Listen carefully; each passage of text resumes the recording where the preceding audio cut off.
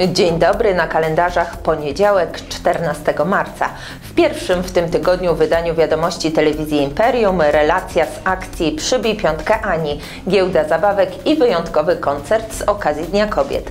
Agnieszka Chlewicka-Bac, zapraszam.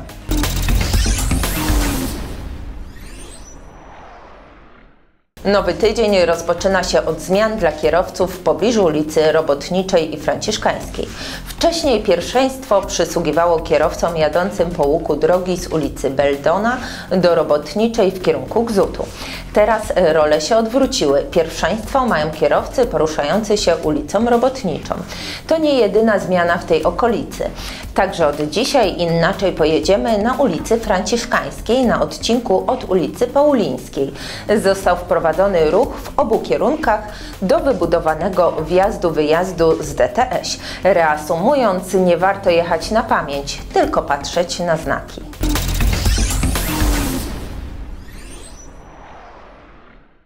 Sobotę w Młodzieżowym Domu Kultury już po raz 15 odbyła się giełda zabawek używanych. Podczas jubileuszowej edycji w gmachu przy ulicy Barlickiego spotkać można było osoby, które pojawiły się tam po raz pierwszy i takie, które giełdę odwiedzają od samego początku, czyli od 8 lat. Gdy Małgorzata Nowotnik, organizatorka wydarzenia, po raz pierwszy pomyślała o jego stworzeniu, części z wystawców w ogóle jeszcze nie było na świecie.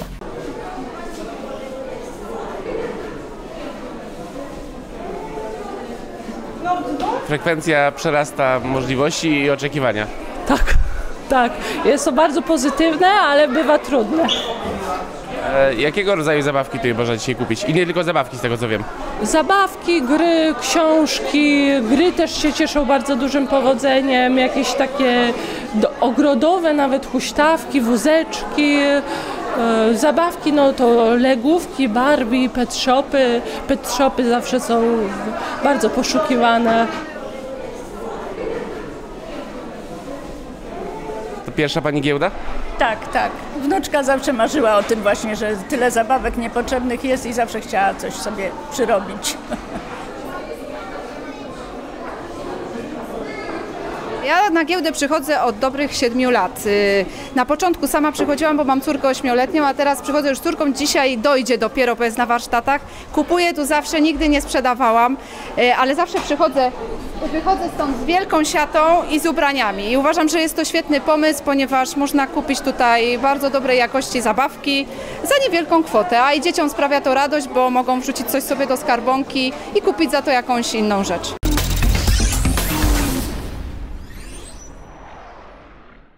Również w sobotę odbył się koncert z okazji Dnia Kobiet.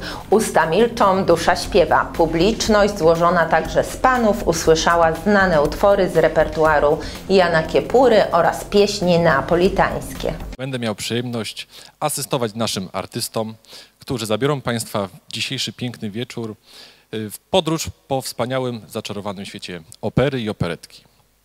Ten oto zaczarowany y, świat jest przedstawiony w operach i operetkach takich jak Księżniczka Czardasza czy Wesoła Wdówka. Jest to, mili Państwo, świat nieraz dziwny, może troszeczkę nielogiczny, natomiast z całego serca namawiam Państwa do tego, abyście zaufali naszym wspaniałym artystom,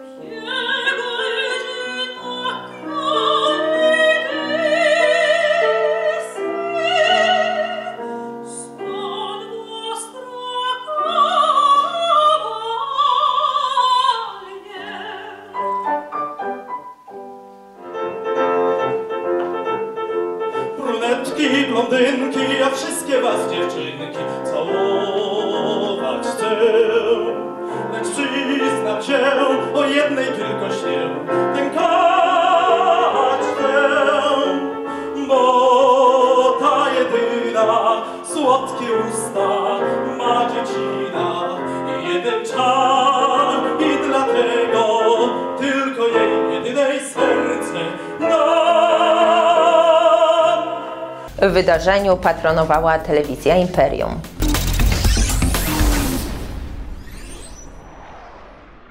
Przybij piątkę Ani. Pod taką nazwą w sobotę odbyło się wydarzenie, którego celem była pomoc chorej na nieuleczalną chorobę sześcioletniej Ani z Gliwic. Kilkuset biegaczy pokazało, że razem mogą czynić cuda.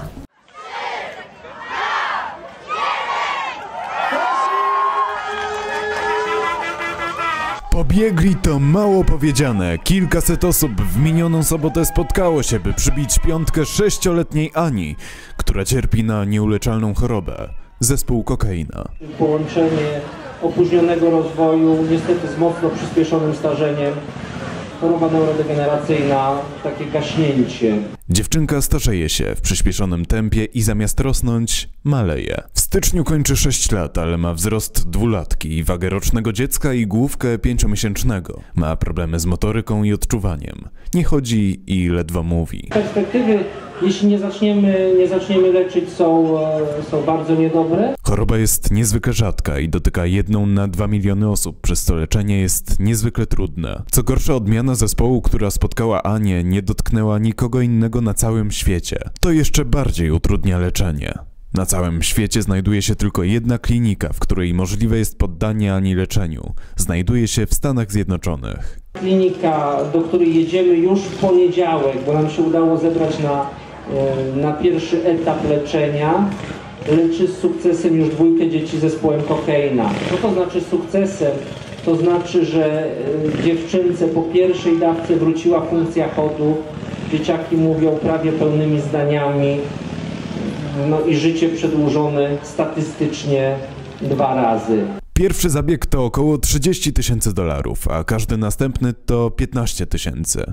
Trzeba je powtarzać co pół roku. Starosolskich na to nie stać. Na samą rehabilitację wydają w ciągu roku około 30 tysięcy złotych. Dlatego też lokalne stowarzyszenia, fundacje i grupy społeczników tworzą akcje, mające nieść pomoc dla chorej Ani. Dziś biegamy dla sześcioletniej małej Ani z Gliwic. Oprócz biegu przygotowano szereg towarzyszących atrakcji, jak wypiekanie babeczek, zajęcia z zakresu judo i samoobrony, występy artystyczne młodzieży z gliwickiego MDK-u, Zabrza czy Knurowa oraz zakończoną sporym sukcesem zbiórkę nakrętek.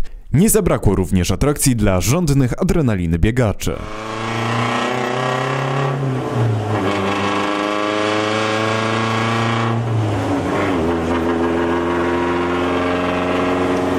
Mimo ogromu atrakcji towarzyszących wydarzeniu, uczestnicy nie stracili energii i pokazali, jak przybija się piątkę w Gliwicach. Rozgrzewka przed biegiem, później grupowe zdjęcie, a ustawimy się wszyscy gdzie? Ustawimy się, słuchajcie, na starcie. Czyli dajemy czadu. Czy jest z nami Jarosław Kuchta? Brawo Jarek!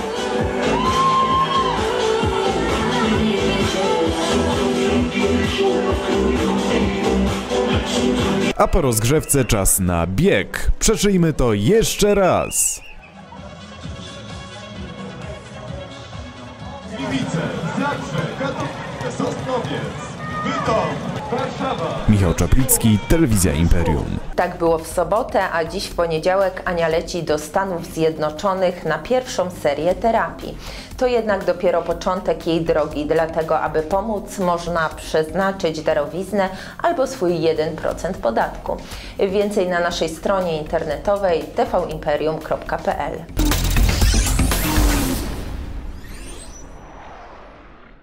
Tym apelem kończymy poniedziałkowe wiadomości. Przypominam, że można nas oglądać w sieci kablowej Imperium Telekom. Wyniki naszej codziennej pracy znajdą Państwo też w internecie tvimperium.pl. Jesteśmy też w mediach społecznościowych. Za chwilę sport i prognoza pogody na niestety śnieżny i zimowy wtorek. Dziękuję za dziś i życzę udanego popołudnia.